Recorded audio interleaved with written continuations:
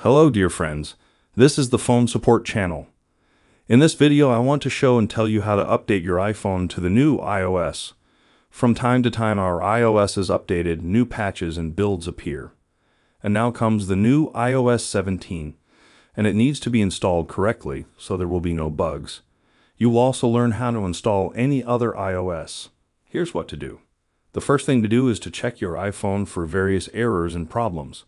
It shouldn't shut down on its own, and it should be able to automatically update normally without any glitches. What else can you do to make the installation a success? Go to the settings of our iPhone or iPad, go to the top and open iCloud, and open the item iCloud Backup.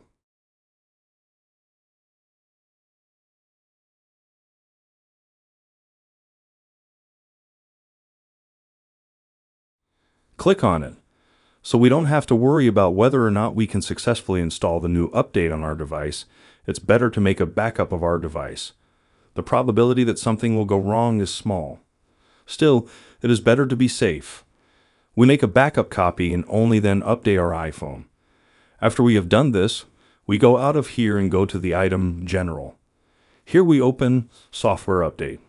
The second point to keep is a good battery. If your device drains very quickly, it is better not to risk installing a new update if you are not plugged into power. Just plug your iPhone or iPad into a charger and only then install the update. Also, make sure that your iPhone is at least 50% charged. If you want to update your iPhone without connecting it to power, it's best to charge it at least 80%, but that's only if your battery is working fine. But it's best to plug in the charger. Then you won't have any problems. If you're worried about a power or internet loss during the update, that's not a problem. Your device always downloads the update itself first, and then installs it when you want it to. Don't worry and it will work.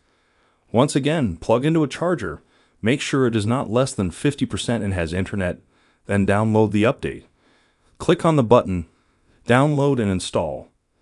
Enter the password if necessary. Next, click. Lay, here you read the information and again press Agree. After all these actions, Update will be downloaded and installed. That is a simple way.